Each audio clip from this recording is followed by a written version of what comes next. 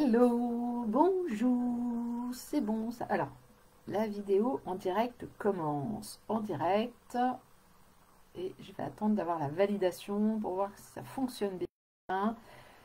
Yes, vous êtes en direct. Bonjour à tous et à toutes. Ben non, hier j'ai commencé un direct à 13h30 et en fait euh, ça n'avait pas fonctionné et je l'ai refait après. Voilà, bah, c'est des joies de la technique, euh, les surprises. Euh, peuvent arriver. Comment allez-vous aujourd'hui?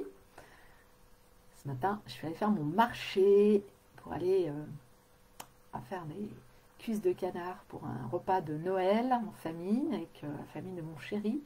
Je vais faire euh, mes derniers achats pour préparer le repas. J'en ai profité pour envoyer quelques messages à certaines et répondre aussi à quelques questions alors, aujourd'hui, dans ce live, je vais aborder les peurs que m'ont partagées les femmes qui ont répondu à l'enquête que j'ai faite. Donc les peurs de ces femmes qui sont célibataires, qui ont 40 ans ou plus. Euh, voilà, il y a des peurs qui reviennent. Hein, euh, en général, elles ne sont pas toutes seules. Ah, coucou Aline, fidèle, fidèle au poste. Euh, donc voilà les, peurs qui sont récurrentes en fait euh, chez ces femmes. Euh, parce qu'évidemment les peurs, bien souvent, déjà ce qu'il faut savoir, c'est que plus de 95% de nos peurs sont irrationnelles. Bonjour Anna, bienvenue. 95% de nos peurs sont irrationnelles. Ce qu'il faut savoir aussi, c'est que notre corps ne peut pas vivre dans la peur. C'est-à-dire qu'il va déclencher un mécanisme euh, si on a peur. Euh, euh, qu'est-ce que je vais prendre comme peur Qui ne soit pas forcément peut-être. allez, si je vais en prendre une justement dans l'eau. Peur de ne pas être accepté tel que je suis. Quand vous avez été plusieurs à me partager cette peur, peur de ne pas être acceptée telle que je suis, donc par un homme euh, avec qui je pourrais avoir envie de construire une vie de couple. Bah, quand on cultive cette peur, si on la garde en nous, cette peur, et qu'à chaque fois qu'on rencontre quelqu'un, on se dit oh, mais j'ai vraiment peur que la personne, ne m'accepte pas telle que je suis, eh bien cette peur, elle va se réaliser. Et là, ça va faire un système d'autoprophétie, c'est-à-dire, ah, ben voilà, je le savais, il ne m'accepte pas tel que je suis. Ben oui, mais tout simplement parce que le métabolisme, notre subconscient, nos cellules, elles vont déclencher l'événement pour nous montrer que, ben voilà, c'est réel. Et une fois qu'on a désamorcé ce truc-là, ben finalement, la pression, elle baisse, elle chute dans les cellules. Parce que le fait d'avoir peur nous maintient dans une tension, dans un état de vigilance. Ah ouais, mais j'ai peur qu'il ne m'accepte pas tel que je suis. Donc, euh, ben, je ne vais pas faire telle chose, euh, je ne vais pas me conduire de telle façon, etc. Je vais vous partager un exemple que, j'ai vécu il y, a, plusieurs années de ça maintenant. Euh, je commençais... alors, non, je commençais pas. C'est un moment où j'ai réactivé des choses que j'avais apprises à faire mais que j'osais pas le faire quand je ressentais le besoin. C'était de méditer. Euh, donc je, sortais avec un homme à ce moment-là et je me souviens qu'il y a un moment, un jour, on est allé se balader au bord de la mer. C'était vraiment, c'était vraiment super joli. C'était, c'était très calme, très agréable. Et là, j'ai eu envie de me poser sur les rochers euh, de, m'asseoir et juste de faire une méditation de quelques minutes, de, m'asseoir, de, fermer les yeux, juste de, de me laisser baigner dans, cette énergie des embruns de la mer, de, cette puissance de l'eau, des vagues qui arrivaient sur les rochers, de, la, brise, le vent qui n'était pas très fort, qui était agréable, de, l'énergie du soleil, etc. Et je me revois en fait euh, être là, on se promenait et euh, je me suis dit, oh j'ai super envie de faire ça, mais euh, ah, je ne vais pas le faire, il va me trouver bizarre. Comment, je peux comment, comment, je peux aborder la chose pour que il me trouve pas bizarre, qu'il m'accepte tel que je suis, parce que oh j'ai envie de méditer et, je me suis alors empêtrée complètement dans mon truc. Et à force d'être là dans cette crainte, ce machin et tout, bah, j'ai pas osé. J'ai pas osé profiter de ce moment parce que j'avais peur qu'il se moque de moi, j'avais peur des remarques, parce que j'avais peur euh, de ouais, d'être moqué, etc. Et j'ai pas profité de ce moment. D'accord? Donc c'est ces peurs-là, et, peut-être que si je l'avais fait, ça, se serait très bien passé. Et peut-être que si je l'avais fait, je me serais pris des remarques parce que j'avais tellement peur de m'en prendre qu'elles seraient arrivées ces remarques. D'accord? Donc évidemment, ces choses-là, je les ai je les, ai faites évoluer en moi euh, en travaillant sur ma confiance et sur le fait que bah ok, bah, si ça ne plaît pas à l'autre, c'est que c'est pas la bonne personne pour être avec moi. Parce que moi, c'est important de pouvoir faire un moment de méditation et c'est quelque chose auquel je reconnectais de plus en plus à ce moment-là. Et que si l'homme avec qui je partage des moments, ben, c'est pas son truc de faire de la méditation et que lui trouve ça nul ou euh, qu'il a envie de se moquer, etc. Ben, dans ce cas-là, c'est pas le bon pour moi et je vais passer à un autre, tout simplement. Mais c'est important, en priorité, de savoir qu'est-ce qui est bon pour moi et est-ce que ce qui est bon pour moi, je suis assez forte à l'intérieur pour l'assumer, quoi qu'en dise l'autre, ou est-ce que je suis là à avoir peur du truc, et si j'ai peur du truc, forcément, je vais me le prendre dans la figure. Donc c'est important de savoir, ce, de, de, savoir que quand une peur est là, faut oser la regarder en face et de se dire qu'est-ce qu'on en fait, plutôt que de d'essayer de la planquer dans un coin, se dire non, non, j'en ai pas peur, euh, ça va passer, etc. Et puis finalement, bah, elle est là. D'accord? Donc les peurs, on les, on, les dépasse au fur et à mesure qu'on les décortique. Euh, c'est des choses que je fais aussi en accompagnement, en coaching. On, décortique la peur pour aller voir, d'accord, mais qu'est-ce qu'il y a derrière la peur Ok, il y a peur de ça. Et pourquoi et s'il y a ça, il se passe quoi? Et, on va creuser comme ça au fur et à mesure pour aller voir quel est le truc qui est à l'origine, qui finalement, des fois, est tout petit, mais comme on n'a pas osé aller le regarder, bah, il a enflé de façon phénoménale. Et en fait, quand on va regarder le tout petit truc, bah oui, bah non, ok, ça je peux le faire. Hein. je, fais, le lien avec ça sur euh, des, personnes que j'ai accompagnées, euh, des, collègues de l'Académie Zéro Limite, entre autres, euh, pour faire leur première vidéo. Ah ouais, non, non, mais je vais, oh, je vais pas faire une vidéo sur Facebook, quoi. J'ai trop peur, d'accord? Et si tu l'as fait, il se passe quoi? Oh, puis on décortique, on décortique, et puis d'accord, ok, c'est bon, on a fait la vidéo? Ouais, bah c'est bon, on l'a fait.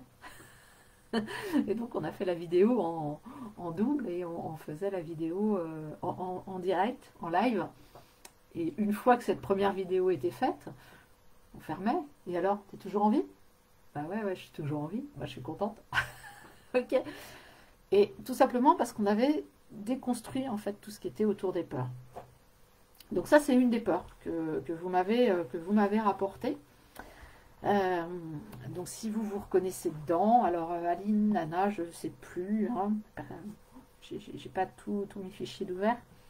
Euh, voilà, donc peur de ne pas être accepté tel que je suis, c'est une question d'amour de soi. Est-ce que moi déjà je m'aime tel que je suis C'est vrai que la dernière personne avec qui je sortais me trouvait bizarre.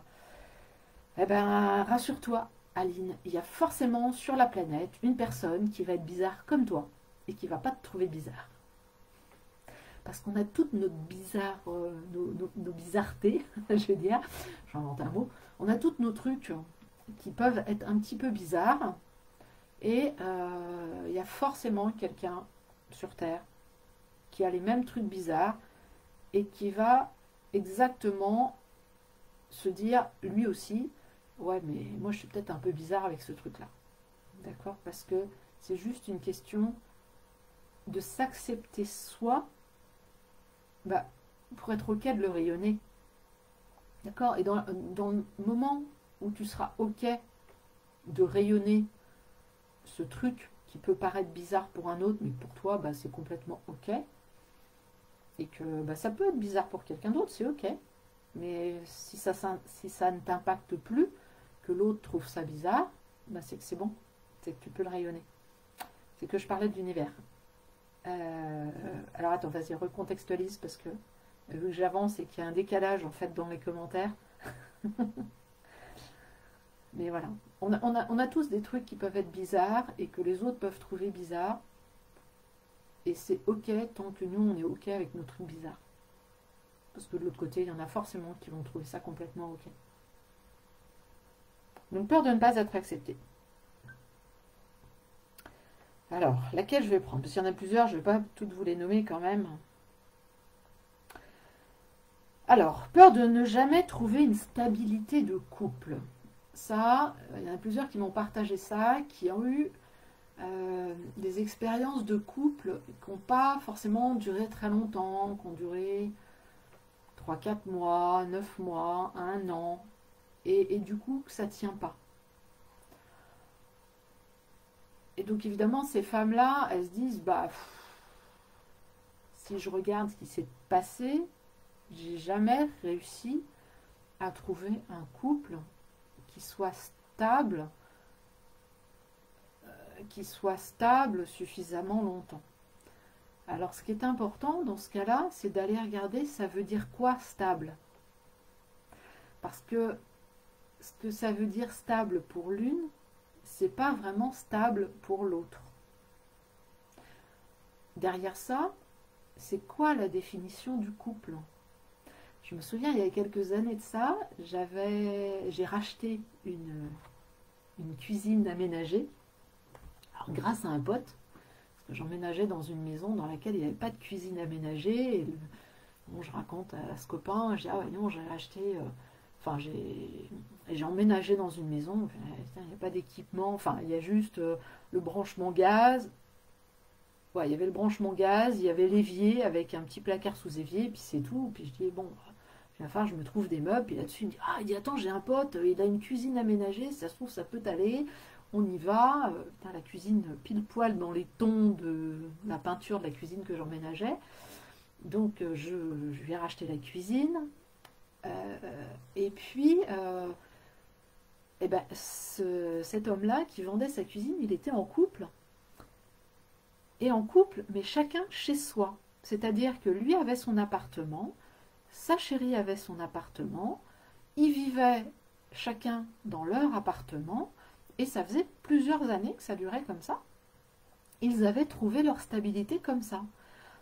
Chacun chez soi, avec son organisation de quotidien euh, et les moments où ils se retrouvaient, alors des fois chez l'un, des fois chez l'autre, euh, des fois ailleurs, et euh, ben leur stabilité de couple, elle était comme ça.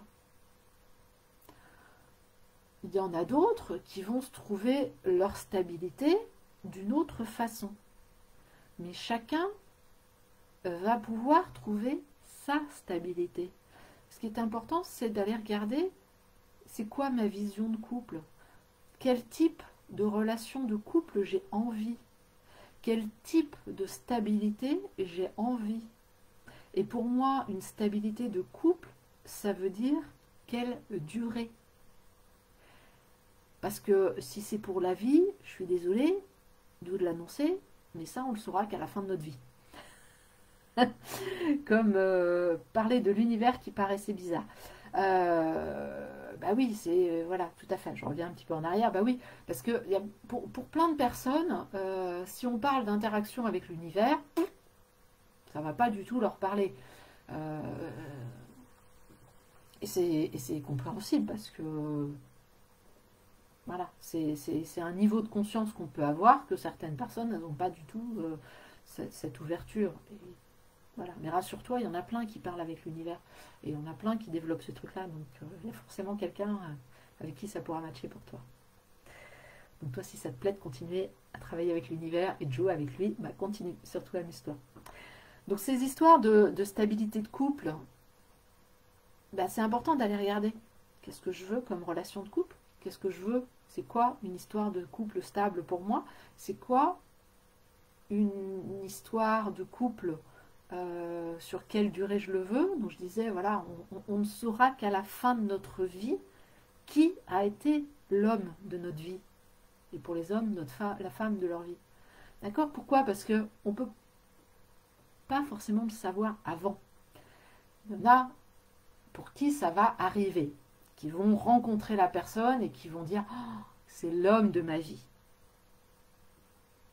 Peut-être. Et tant mieux. et c'est le cas.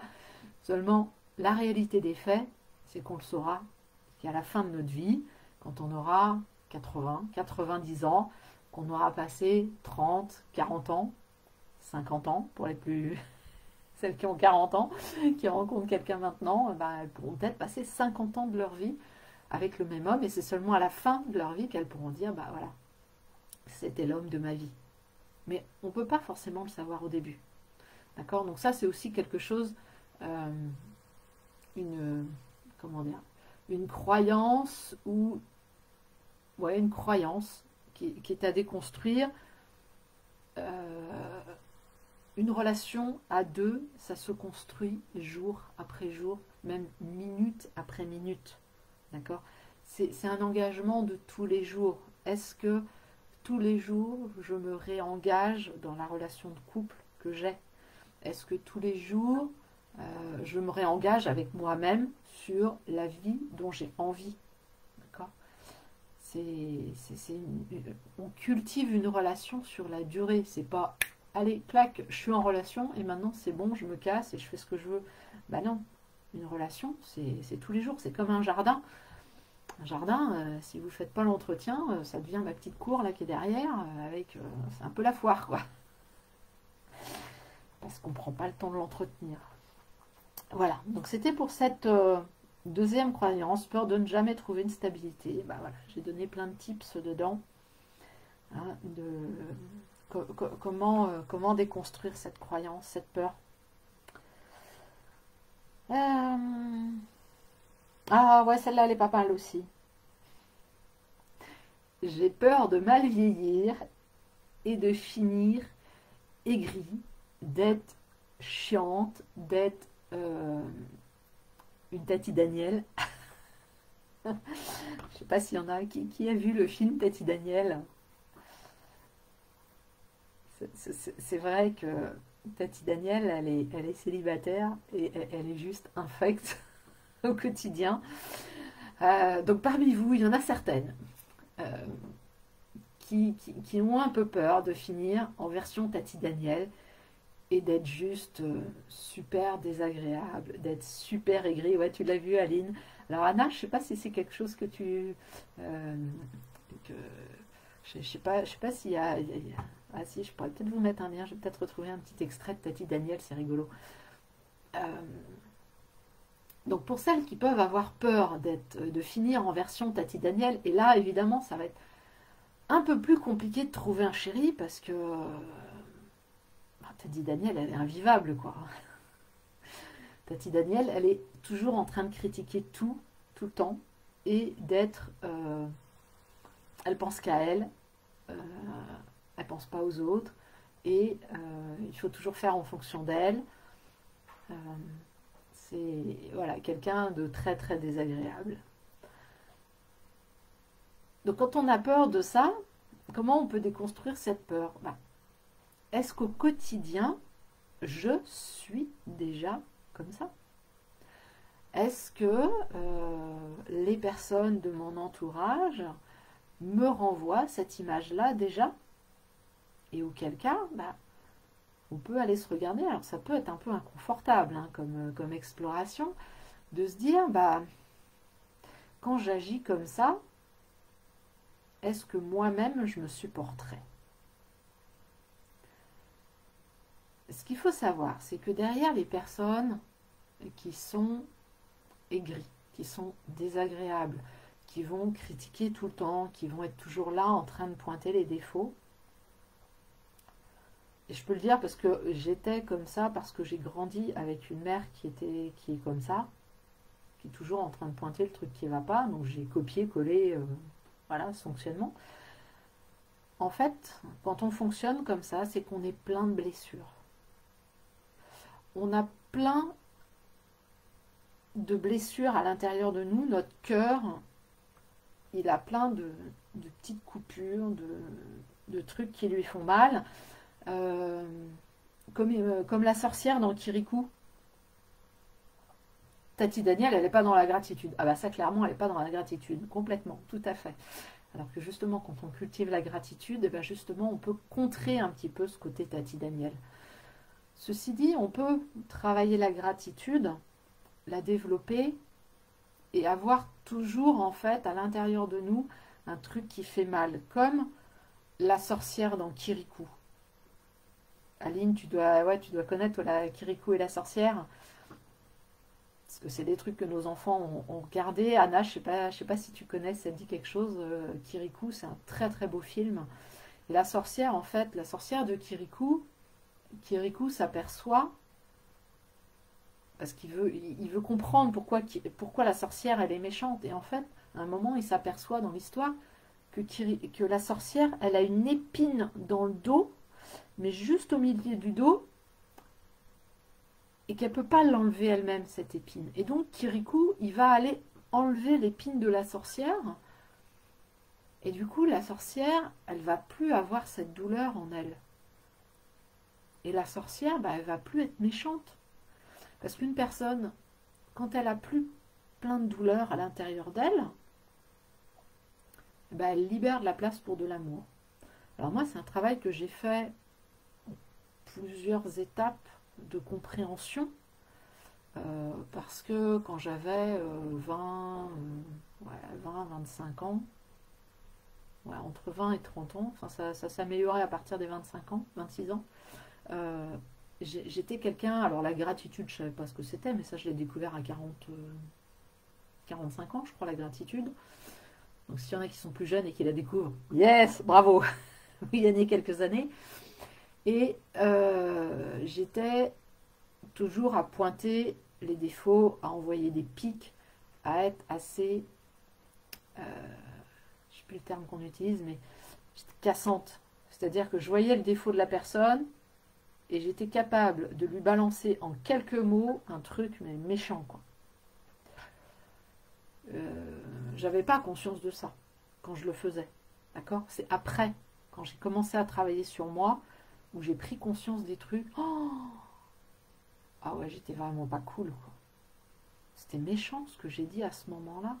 Alors il y a certaines personnes avec qui j'ai pu échanger a posteriori et, euh, et demander être pardonné, parce que c'était vraiment pas cool. Il y en a d'autres, bah voilà, je les ai pas revus, euh, voilà, donc j'ai fait le travail de, demander un pardon, je l'ai fait à l'univers, pour que la personne, pour que ce soit l'univers qui soit l'entremetteur et euh, puisse aller porter ça à la personne pour, euh, pour moi me libérer. D'accord? Le pardon, il faut savoir que le pardon, le travail de pardon qu'on peut faire, c'est pour se libérer soi. D'accord? L'autre, après, c'est son histoire. Donc c'est important d'avoir conscience de ça, que pour celles qui ont peur d'être euh, version Tati Daniel en vieillissant, euh, c'est parce qu'on a des blessures, parce qu'elles ont des blessures à l'intérieur. Et que ces blessures, on peut aller les guérir.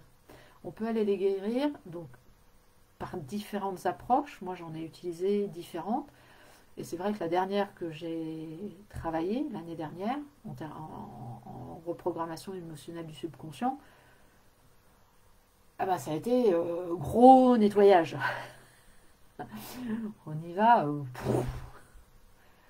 euh, un gros nettoyage pour guérir profondément et pour ramener énormément d'amour à l'intérieur de soi.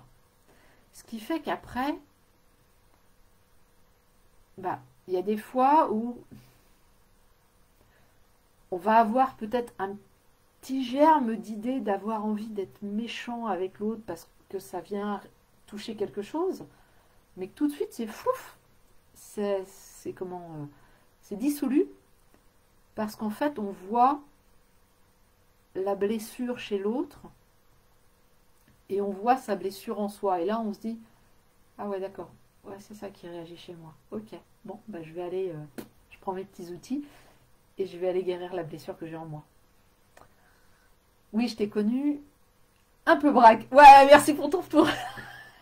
bah oui, bah oui, mais parce que, merci beaucoup pour ton retour Aline, parce que justement, tu vois, ça permet de... Euh, voilà, tu fais partie des personnes qui me connaissent depuis une vingtaine d'années. Euh, donc, tu as, justement ce regard extérieur euh, de qui j'étais avant et qui je suis aujourd'hui.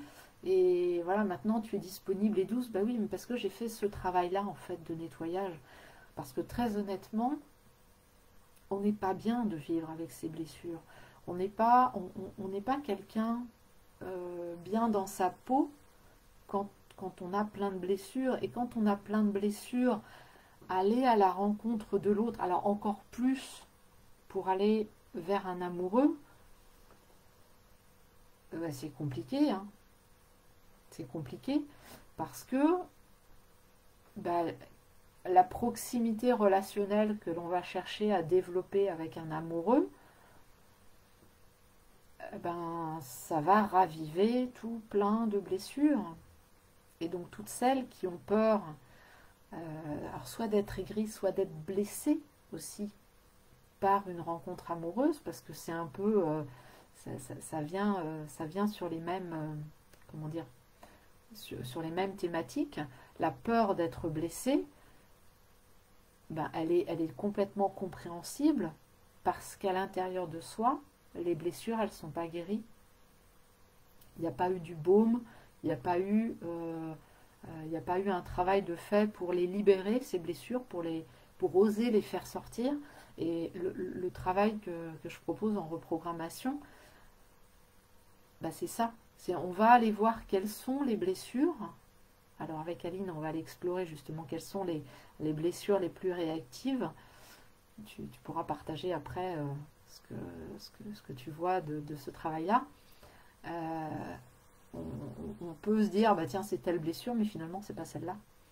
Et quand on va les guérir une par une, eh ben, on libère en fait de la place, on, se donne à soi beaucoup d'amour, ce qui fait qu'on laisse de la place pour accueillir une personne potentiellement n'a pas fait tout ce travail-là. Mais comme on l'accueille, eh ben ça va être plus facile d'être en relation avec cette personne, même si elle a des blessures et qu'elle en a conscience. On va pouvoir l'accompagner et l'inviter aussi à faire ce travail avec un thérapeute, avec quelqu'un pour l'aider. Euh, ce qui fait que la, relation peut se construire. D'accord? Après, ce qui est important, et ça, quand on travaille sur soi, moi, quand j'ai fait ce travail-là, alors avant de faire la reprogrammation, il y avait d'autres choses que j'avais faites. Ce qui m'a permis, quand je rentrais en relation avec un homme, que je prenais contact avec lui, que je commençais à échanger, euh, apprendre à le connaître, bah, évidemment, je voyais très rapidement si c'était quelqu'un qui n'avait fait aucun travail sur lui et qui avait, mais alors, tellement de blessures que, bah non, je suis pas ta thérapeute.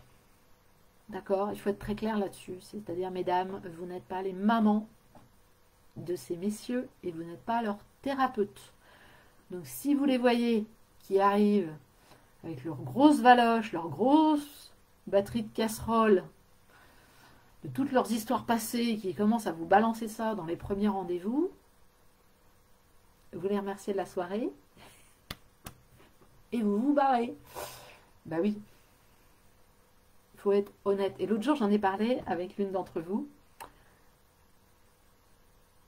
Il y en a plein à qui j'ai balancé avec douceur. J'ai pas été braque. ça, j'avais travaillé ça avant mais que c'était important pour eux qu'ils aillent, faire, qu'ils aillent faire un travail en thérapie parce qu'ils se retrouveraient toujours confrontés à des problématiques avec les nanas qu'ils pourraient rencontrer, parce qu'ils sont tellement bourrés de problèmes et qu'ils n'ont pas fait le deuil de leur relation précédente, que si ils n'ont pas fait ce travail-là, ben, ils vont jamais trouver une nana. Et celle avec qui j'ai partagé ça, elle m'a dit Oh Ah ouais, t'as osé ben, Je l'ai fait avec beaucoup de douceur, avec beaucoup d'amour pour emballer le truc, mais c'est leur rendre service.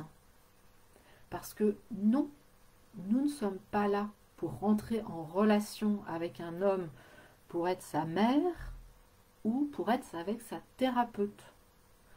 Et ça, c'est des questions de posture qui sont pas toujours évidentes. D'accord? C'est des choses qu'on va, va voir en groupe, dans le groupe Facebook que j'ai ouvert. Celles qui veulent le rejoindre, vous le dites clairement en commentaire ou en MP.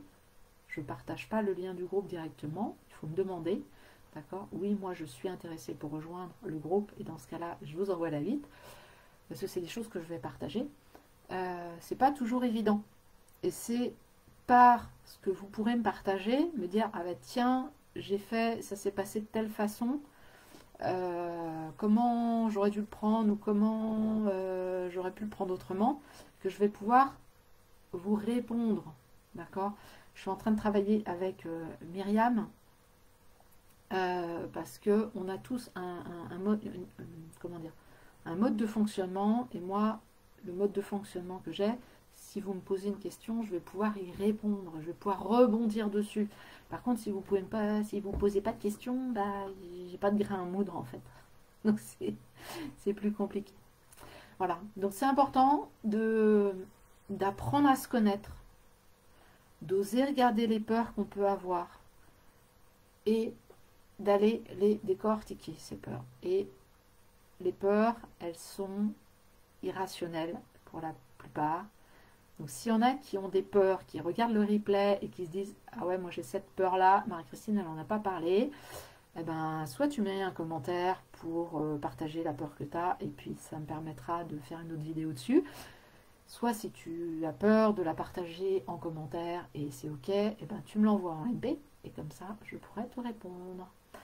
Voilà, bah, en tout cas, merci pour votre euh, présence, Aline, Nana, je ne sais pas qui d'autre est là, parce que il y a du monde, mais je ne sais pas qui. Il y en a qui restent cachés en coulisses, c'est ok, il n'y a pas de souci, vous faites comme vous voulez. Je vais vous souhaiter un très très bon après-midi. Et on se retrouve, eh ben, pour celles qui sont dans le groupe. Qu'est-ce qu'il y a? S'il y a des commentaires, vous inquiétez pas. S'il y a des commentaires que j'ai pas vus, rassurez-vous, je viendrai les regarder après. Très très bon après-midi, mesdames. À bientôt, à demain pour un prochain live.